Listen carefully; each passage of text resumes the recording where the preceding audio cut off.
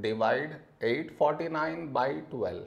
While doing this division, many do this mistake. What is the mistake that they do? I will let you know. But before that, we should frame it in this way. 849 here, 12 here. This is your step 1.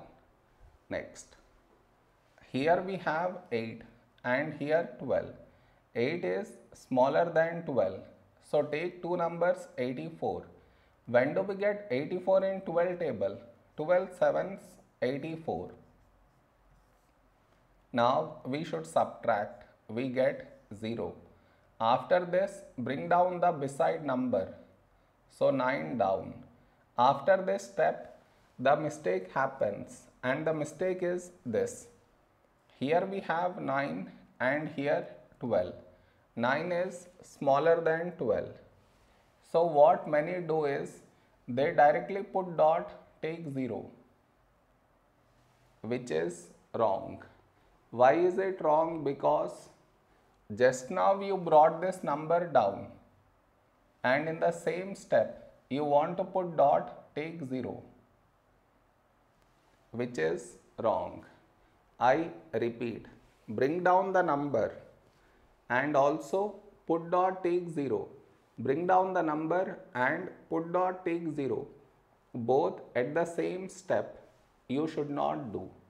Instead of that what we should think of doing is which number should we take here? If I take 1 we will get 12 but 12 is larger than 9 so what we do is we take 0 here. So 12 into 0 0 now we subtract we get 9 over here we did not bring any number down.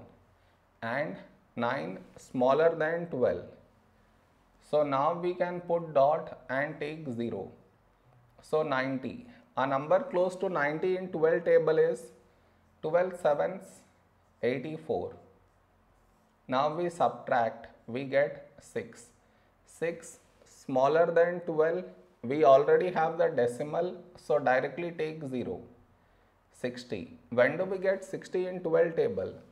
12 5s 60 now we subtract we get 0 did you understand where does the mistake happens? You should not do that mistake